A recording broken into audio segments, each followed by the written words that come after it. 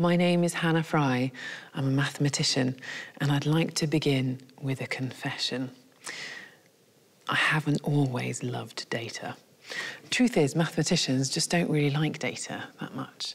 And for most of my professional life, I was quite happy sitting in a windowless room with my equations describing the world around me. You can capture the arc of a perfect free kick or the beautiful aerodynamics of a race car.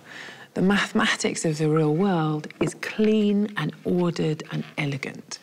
Everything that data absolutely isn't. There was one moment that helped to change my mind.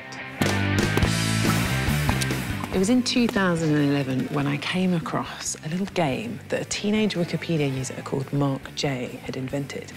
Now, Mark noticed that if you hit the first link in the main text of any Wikipedia page and then do the same for the next page, a pattern emerges. So, the page for data, for example, links from set to maths to quantity, to property, and then philosophy, which after a few more links will loop back onto itself.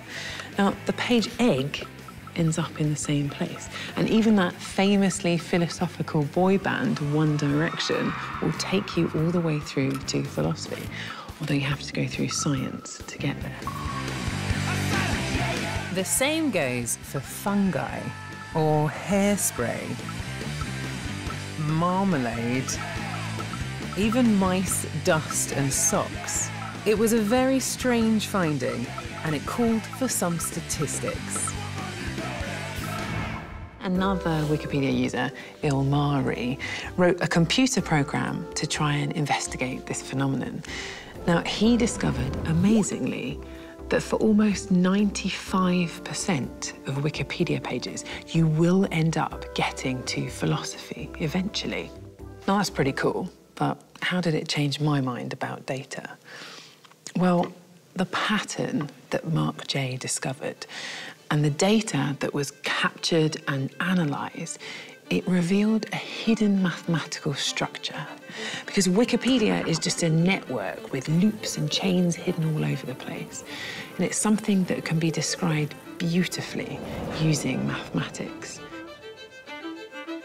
For me, this was the perfect example of how there are two parallel universes.